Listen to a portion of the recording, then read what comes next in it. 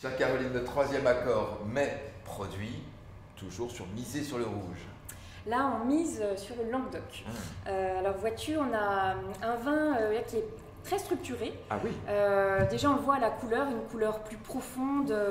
On sent que c'est un vin euh, avec des, des tanins qui sont plus présents aussi. Mhm.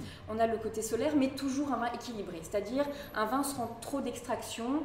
Euh, on ne va pas chercher un fruit trop mûr, on ne va pas chercher à avoir trop de bois. Mhm. Donc on va garder une belle pureté de fruits, même s'il y a plus de structure dans ce vin. Garde l'équilibre, c'est le maître mot.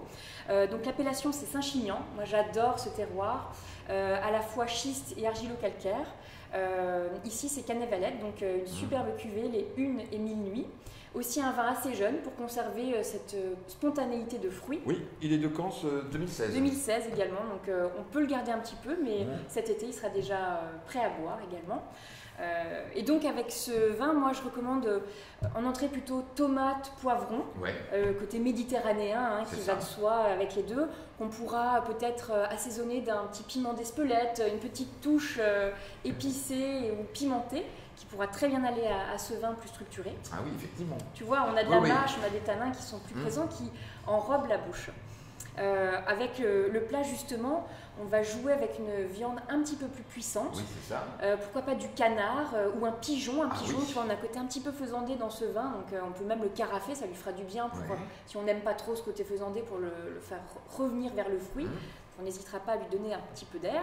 Euh, là aussi, le canard, il peut être assaisonné avec un petit peu de poivre, du poivre sauvage, euh, euh, du poivre, euh, pourquoi pas, euh, votis, votis pif, comment, comment on dit?